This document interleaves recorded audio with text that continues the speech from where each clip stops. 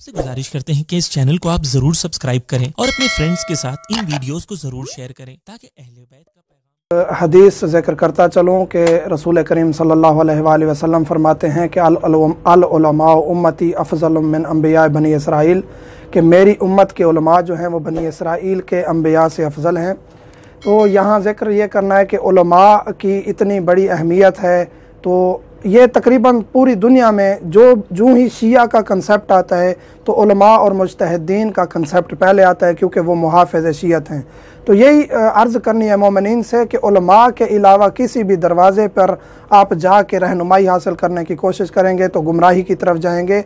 उलमा ही हैं जो अपना सब कुछ कुर्बान करके दीन की खातिर, दीन का पैगाम बग़ैर किसी लालच के पहुँचाते हैं।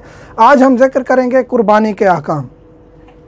ईद आने वाली है, कुर्बानी मुस्तहब मक्दा है। बहुत ज़्यादा ताक़द की गई है।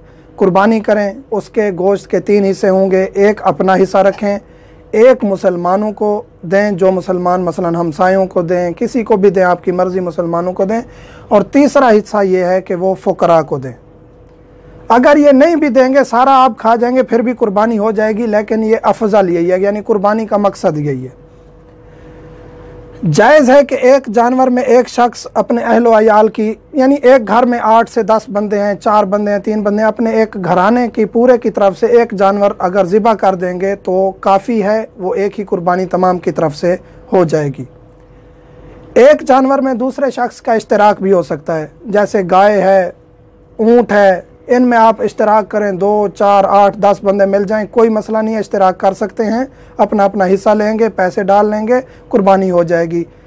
एक चीज़ है दुम्बा दुम्बे में इश्तराक नहीं हो सकता सैद अली सिस्तानी दामजिल्ला के नज़दीक कुछ रिवायात मिली हैं, जिनके नतीजे में यह नतीजा निकाला गया है कि दुम्बे में एक ही शख्स, यानी अपने अहलोयाल की तो कर सकता है, लेकिन कोई और पार्टनर शामिल नहीं करेगा। इसके अलावा बकरा है, भेड़ है या गाय है या ऊँट है उनमें वो शामिल कर सकता है दूसरे अफराद को। और वक्त क्या है? अफजल वक्त ये है, अफजल वक्त ये है कि तलु शाम से लेकर, यानी ईद के दिन जब सूरज तलु हो जाए, उस वक्त से लेकर ईद नमाज़ ख़त्म होने तक, ये सबसे अफजल वक्त है, यानी ज़्यादा सवाब है इस वक्त कुर्बानी करने का।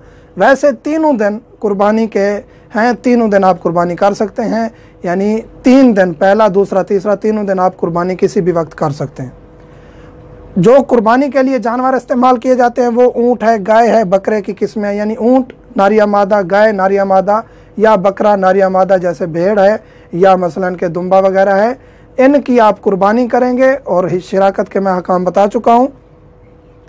ऐबदार जानवर की भी कुर्बानी मुस्तहब जो कुर्बानी है, जो हम करते हैं, हज के अहकाम अलहदा हैं। हज की जो कुर्बानी है, जो हज पर जाते हैं, उन पर जो कुर्बानी वाजिब होती है, उसके अहकाम अलहदा हैं। ये जो मुस्तहब कुर्बानी है, इसमें ऐबदार जानवर भी कुर्बान कर सकते हैं, लेकिन अफजल ये है कि वो मोटा ताज़ा हो और ऐबदार भी ना हो। और चमड़े के अहकाम जल्द या चमड़ा, ये ज़रूरी नहीं है कि जो हुक्म देते हैं कि हम, हमें ही दें और किसी और को देना जायज़ नहीं है। आजकल खसूस पाकिस्तान में ये मसला ज़्यादा चला हुआ है। आपकी मर्ज़ी, मुस्तहब है कि उसको सदका करें। सदका आप किसी मोमिन मुस्तक को भी दे सकते हैं, किसी मदरसे को भी दे सकते हैं। जहाँ आपको ज़रूरत महसूस हो कि यहाँ दीन की खिदमत होगी या ये मोमिन दीनदार है, इसको दूँगा तो इसके बच्चों को या इस इदारे को फ़ायदा होगा, वहाँ आप दे सकते हैं। शरूत क्या हैं? जो अहम तरीन चीज़ है कि ज़िबा करने की शर्तें क्या हैं? पहली ये है कि कसाब जो आप ले आएँगे वो मुसलमान होना चाहिए। मुसलमान, ज़रूरी नहीं है कि आप कहें कि शिया नहीं है। ज़रूरी नहीं है शिया हो। आप मसलन के अहल सुन्नत से भी अगर आप करवा लें, जानवर ज़िबा तो कोई हर्ज नहीं है, वो कुर्बानी दुरुस्त होगी। लोहे की छुरी से ज़िबा करना है ज़रूरी है। स्टील की छुरी नहीं होनी चाहिए, कोई और धात की छुरी नहीं होनी चाहिए। लोहे से ही ज़िबा करना ज़रूरी है जानवर का। इस्तकबाल किबला हो, किबला की तरफ़ रुख हो, फिर उसको जानवर को ज़िबा किया जाए बसमिल्ला पढ़े बसमिल्ला पढ़े, अल्लाह अकबर पढ़े अल्लाह का नाम ले ले, और जो दुआ मौजूद है किताबों में, वो दुआ पढ़ी जाए बेहतर है, लेकिन अगर कुछ भी ना हो, फ़कत अल्लाह अकबर या बसमिल्ला भी कह देगा तो कुर्बानी दुरुस्त हो जाए। ज़िबा के बाद खून सही मकदार में निकले। ज़िबा किया है, एक दो कतरे निकले हैं और जानवर भाग गया, ये ज़िबा शुमार नहीं होगा। ज़िबा करें, रगें काटें, खून सही मकदार में निकले और शर्त यह है कि उसके बाद जानवर फड़फड़ाए। आपने ज़िबा किया और आपने जानवर का गला काट दिया या जानवर फ़ौर मार गया, ये दुरुस्त नहीं है।